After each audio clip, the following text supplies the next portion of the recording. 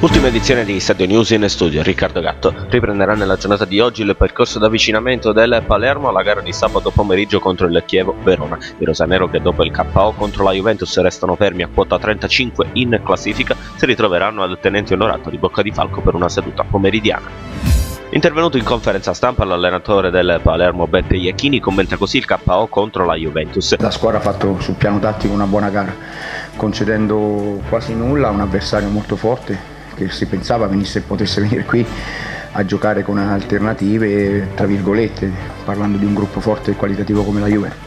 In realtà ha affrontato la partita con tutte eh, le munizioni a pieno regime o quasi e in questo senso eh, abbiamo concesso pochissimo.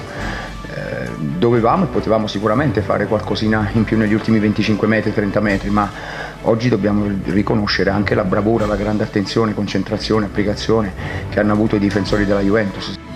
Intervistato al termine di Palermo-Juventus, Stefano Sorrentino ha parlato così mix zone del match perso contro i bianconeri. Un episodio, una giocata di un campione ha risolto una partita, ecco.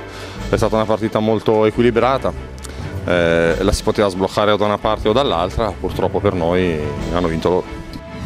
Ezechiel Munoz, ex difensore del Palermo, adesso alla Sampdoria, ha parlato così di Edgar Barreto. Anche lui, come Munoz, non ha rinnovato e sabato i tifosi lo hanno fischiato.